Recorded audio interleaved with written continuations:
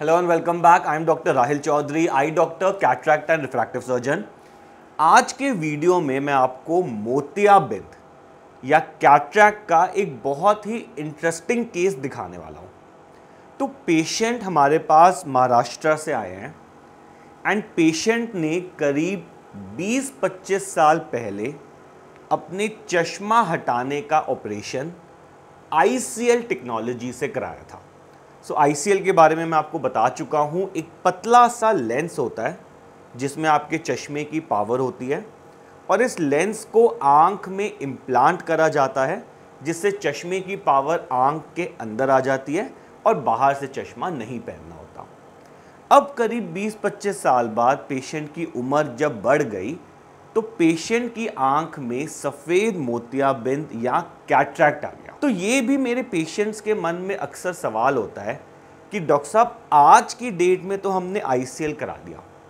लेकिन हम सबको पता है कि एक सर्टेन उम्र के बाद हम सबकी आँखों में सफ़ेद मोतियाबिंद या कैट्रैक्ट बनेगा, मेरी आँख में ही बनेगा, आपकी आँख में ही बनेगा। तो जब आँख में मोतियाबिंद आ जाएगा, तब क्या होगा? तो आज वही वाला केस मैं आपको दिखा रहा हूँ कि 20-25 साल पहले पेशेंट ने आईसीएल का ऑपरेशन कराया, अपने चश्मे का नंबर बिल्कुल परफेक्टली हटवा लिया। अब आज पेशेंट की आँख में मोतियाबिंद आ गया तो आज के ऑपरेशन में हम लोग आर्टिफिशियल इंटेलिजेंस, लेज़र वाली टेक्नोलॉजी यूज़ कर रहे हैं। और सबसे पहले हम पेशेंट की आँख से इस आईसीएल को भी निकाल रहे हैं और मोतियाबिंद को भी निकाल रहे हैं। और इसकी जगह पर अब एक लेंस डाल रहे हैं, जिसमें आईसीएल और पेशेंट का जो नेचुरल लेंस है, उसकी पावर जो है वो कट्ठे होगी।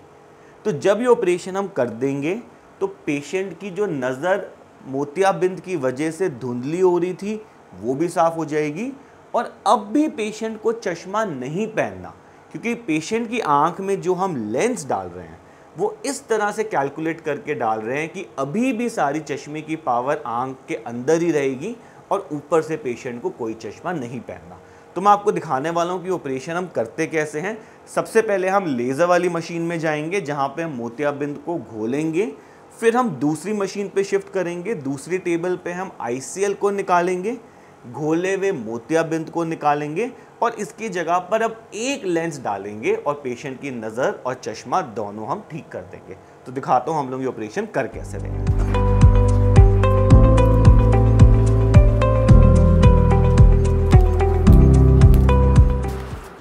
सो so, इस स्टेप में सबसे पहले हम मोतियाबिंद को घोल देंगे एंड उसके बाद हम लोग दूसरे टेबल पे शिफ्ट करेंगे। जहाँ पे हम आईसीएल को भी निकालेंगे, मोतियाबिंद को भी निकालेंगे और इसकी जगह पर एक लेंस डालेंगे जिसमें दोनों नेचुरल लेंस और आईसीएल की पावर इकट्ठे हैं। तो काफ़ी हद तक पेशेंट अभी भी बिना चश्मे के ही देख पाएँगे। बस जब भी रीडिंग का काम करना है, तब थोड़ा सा चश्मा पहनना पड़ेगा।